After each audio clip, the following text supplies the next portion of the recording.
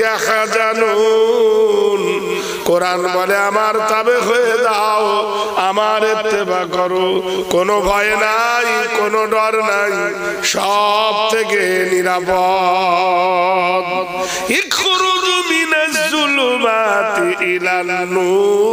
অন্ধকার থেকে মানুষকে টেনে এনে আলোর পথ দেখাবার জন্য আমি কোরআন এসেছি। কোরআন বলেন, আমাকে মেনে নাও, দুনিয়ায় ভয় থাকবে না, আখেরাতে ভয় থাকবে না, কবরে ভয় থাকবে না, জান্নাতে যেতে ভয় থাকবে না, জাহান্নামে যেতে ভয় থাকবে না। কোন ঠেকাতে পারবে না। যদি কোরআনকে তুমি মেনে নাও, কোরআন বলতেছেন আমার তাবে হও, আমার ইত্তেবা করো, ফামান তাবে খাউফুন ওয়ালা হুম আমার হও, আমার করো, আমার অনুসরণ করো, কোনো ভয় নাই, কোনো ডর নাই। তবে হলে তবে তো, কি বলছে কোরআন? এক নম্বর কোরআন বলে কোরআন বলে দিল, তোমাদের জন্য সুদ হারাম। সুদ যারা খায়, তারা কোরআন মানে না। আর যারা কোরআন মানে না, তারা জান্নাত যেতে পারবে না। হে ভাই, সুদ কি শুধু মুসলমানের জন্য না, সারা বিশ্বের জন্য? দু নম্বর, লা জিনা ব্যভিচারী করো না। ব্যভিচারী করা ভালো না, খারাপ? খারাপ। সমস্ত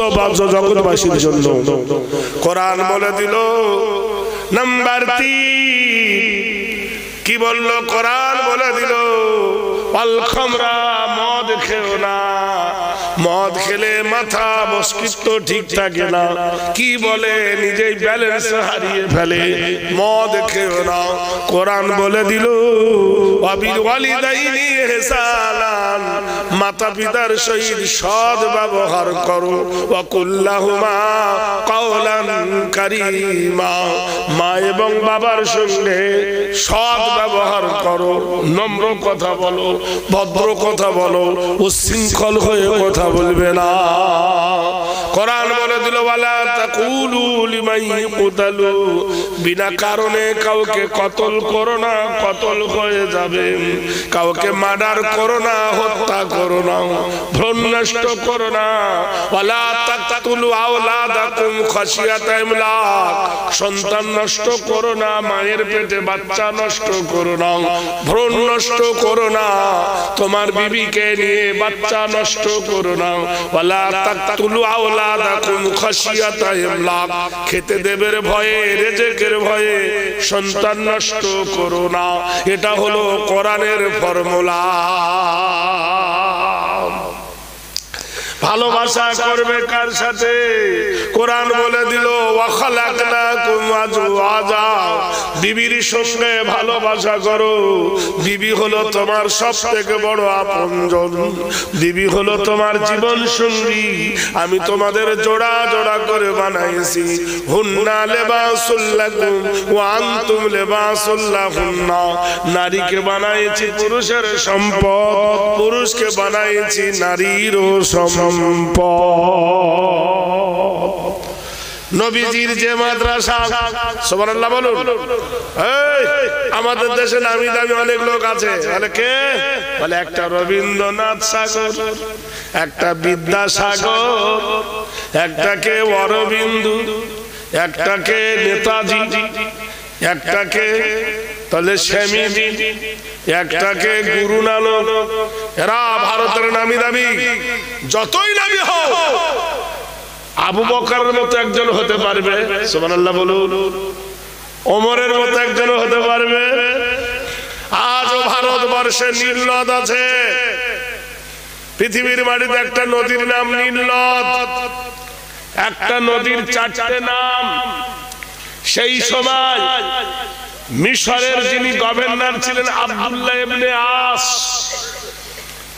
আমাদের দেশের যেমন এখন গভর্নর এলাকার যেমন গভর্নর, কেউ না কেউ আছে এক একটা জেলার, এক একটা এক একটা একজন করে হজরত দেখভাল করার জন্য একটা গভর্নর পাঠালেন। গভর্নর নাম হলো আব্দুল্লাহ সেই সময় কালীন নীল নদের পানি কমে গেল। নীল নদের পানিতে সুন্দর চাষবাস হয় মিশরবাসী। নীল নদের পানি কমে গেছে। তাই সে সময় একটা কুপ্রথা ছিল। কুপ্রথাটা কি? হ্যালো? যে নদীর পানি কমে গেলে সুন্দর একটা মেয়েকে সাজিয়ে নদীর পানিতে ডুবিয়ে দিলে, নদীর সঙ্গে বিয়ে দিলে, তবে নদীর জোয়ার আসবে। এই সময় একটা সুন্দরী মেয়ে নির্বাচিত করে তাকে জামা কাপড় পরিয়ে সাজানো হলো। গহনা দেওয়া হলো। নীলনাদের পানিতে ডুবিয়ে দেওয়া হবে। গভর্নর আব্দুল্লাহ আস বললেন, দাঁড়াও বিনা কারণে একজন মানুষ হত্যা করা চলবে না। এটা আমাদের ফেরাউনি প্রথা। সারা জীবন আমরা এইরকম। পানি কমে গেলে নীল নদের পানিতে একটা মেয়ে ছেলের বিয়ে দিয়ে দিয়ে তাকে ডুবিয়ে দিয়ে খবর চলে গেল। মদিনার সরজমিনে দুনিয়ার প্রেসিডেন্ট হযরত ওমর কাছে গেল, হুজুর এই রকম একটা বিনা কারণে নারী হত্যা চলছে। ওমরে ফারুক আজম রাদিয়াল্লাহু তাআলা মসজিদে নববীর জায়নামাজে বসে। একটা চিঠি লিখলেন, লেটার লাভ লেটার নয়, প্রেম লেটার নয়। চিঠি। সেই চিঠির ওপরে লিখলেন, বিসমিল্লাহির রহমানির রহিম। ইয়া আইয়াতুহাল বাহরু আসহাবে রাসূলুল্লাহ। হে সাগর, হে দরিয়া, আমি আল্লাহর নবীর সাহাবী হযরত ওমর বলতেছি ফাইন্না নাজনা আমার এই চিঠি দরিয়ায় ফেলা হবে, হে দরিয়া, তুমি নিজে প্রবাহিত হও না আমার আল্লাহ তোমাকে প্রবাহিত করে। যদি আল্লাহ প্রবাহিত করে তোমাকে, তাহলে আমার এই চিঠি পাওয়ার সাথে সাথে নদীর জোয়ার আসবে। আর যদি নিজে প্রবাহিত হও, তাহলে জানব আমার চিঠি তুমি কাজে বানবে নাও। এই চিঠির মর্মভেদ, এনে যখন মিশরবাসীকে দেখানো নয় মিশরবাসী খাব যারা সবুর কি যে ধৈর্য ধরো, যেই চিঠিটা নদীর পানিতে ডুবিয়ে দেওয়া হলো, কাগজটা, লেটারটা পানিতে ফেলে দেওয়া হলো, যেমন আমাদের দেশে নদীর জোয়ার আসে, হা হা হা নদীর জোয়ার বইতে লাগল। অতক্ষণ পর্যন্ত জোয়ার এসেছিল, যতক্ষণ পর্যন্ত কাগজটা পানির তলে ডুবে না গিয়েছিল, বলুন সুবহানাল্লাহ। আজও পর্যন্ত মিশরের পানি কানায় কানায় ভরে গেছে। এত গরম হলেও এক চুল পরিমাণ পানি কমে না। আশ্বিন মাসের বর্ষা হলেও এক চুল পরিমাণ পানি বাড়ে না। কেমন পর্যন্ত নীল নসরের পানি, নীল নদের পানি জোয়ার ভাটা বন্ধ হয়ে গেছে। জোরে বলুন কিসের চিঠিতে? ওমরের চিঠিতে। চিঠিটা লিখেছিল কে? রসুল্লাহর মাদ্রাসায় পড়ে যিনি ছাত্র হয়েছিলেন, তার নাম হলো কি? অমর রাদি আল্লাহ কত বছর বয়সে শিক্ষা অর্জন করেছিলেন? ছাব্বিশ বছর বয়সে বলুন এই অমরে ফারুক আজম রাদি আল্লাহ দ্বিতীয় ইতিহাস। আপনারা মনোযোগ দিয়ে শুনবেন। কেমন মুসলমান ছিলেন, চিন্তা করে দেখুন। ওমরে ফারুক আজম তাআলা আনহু মসজিদ নববীর জায়নামাজে শুয়ে আছেন। এমন সময় ভূমিকম্প হলো। সবাই ছুটে গিয়ে বলছে অমর তুমি ঘুমাচ্ছ? বাদ করে মাটির বাড়িগুলো পড়ে যাচ্ছে, উঁচু লেটার জেলাল দালান কোঠাগুলো ভেঙে যাচ্ছে। আর তুমি নীরবে ঘুমাচ্ছ। অমর রাদি আল্লাহ তাড়াতাড়ি উঁচু করলেন। উঁচু করার পরে একটা লাঠি নিলেন, লাঠি। লাঠিটা নিয়ে জমিনের ওপর আঘাত করে বলল, হে জমিন, তুই শুনে যে জমিনে শুয়ে আছেন, বিশ্বের দাতা নবী জনাবে মুহাম্মদ রাসূলুল্লাহ সাল্লাল্লাহু আলাইহি সাল্লাম যে জমিনের ভিতরে আরাম করছেন, হযরত আবু বকর, সিদ্দিক আকবর, হে জমিন, ঠান্ডা হয়ে যা। আমি অমর বলতেছি, আমার নবী ঘুমাচ্ছে মদিনার সরজমিনে আমার নবীর ডিস্টার্ব করিস না। আমার নবী আরাম করছেন। ডিস্টার্ব হতে দিস না।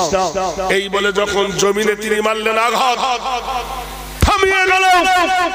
ভূমিকম্প বন্ধ হয়ে গেল। স্যার নিউটন, তিনি বলেছেন, ওমরের এই কথা বলার কারণে মদিনার সরজমিনের কিয়ামত পর্যন্ত ভূমিকম্প বন্ধ হয়ে গেছে। সারা পৃথিবী যদি কিয়ামত হয়, ভূমিকম্প হয়, তো মদিনা ভূমিকম্প হবে না বলুন, সুবহানাল্লাহ। আলহামদুলিল্লাহ।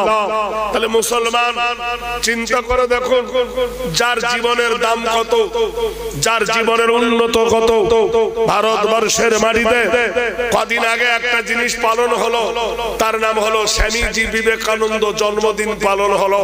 খুব উৎসব। আমি বললাম, ভাই ভাই, উৎসব তো পালন করতেছ।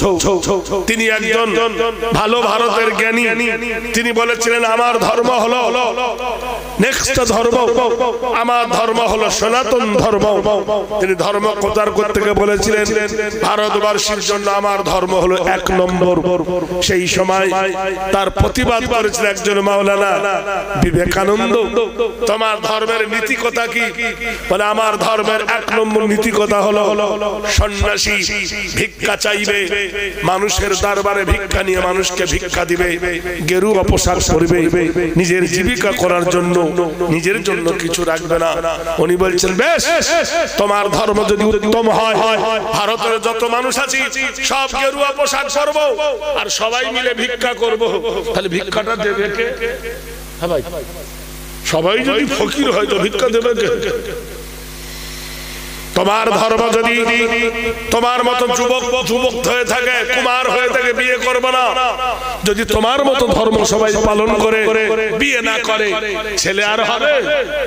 জোরে বলুন। তো বিয়ে না করলে ছেলে হবে? তো ভারতবর্ষীতে শূন্য হয়ে যাবে, ভারতের জনসংখ্যা কমে যাবে। একজন মহিলা, তার নাম ছিল টেরিজা। সে বলেছিল, আমার ধর্ম বড় ধর্ম। আমার ধর্ম হলো বিধবার পাশে দাঁড়া। আমার ধর্ম হলো এতিমের পাশে দাঁড়াও, বিয়ে করব না। আচ্ছা বলুন তো, ভারতবর্ষের সব মেয়েরা যদি মাদার টেরিজা হয়ে যেত, আমাদের বাবারা জন্ম নিত?